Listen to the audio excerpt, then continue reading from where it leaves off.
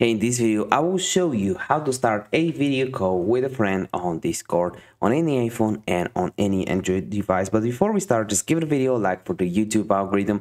Each like helps out the channel a lot, helps us get a few more views and subscribe if you're new. We just hit 13,400 subscribers.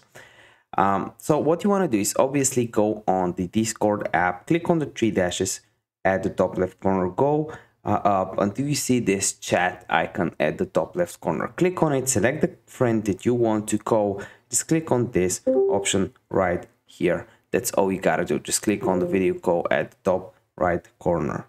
Uh, I'm gonna alert the friend that I'm just doing this for a video and that's all you gotta do. If you still have questions, comment down below and I wanna see you in one of the next videos.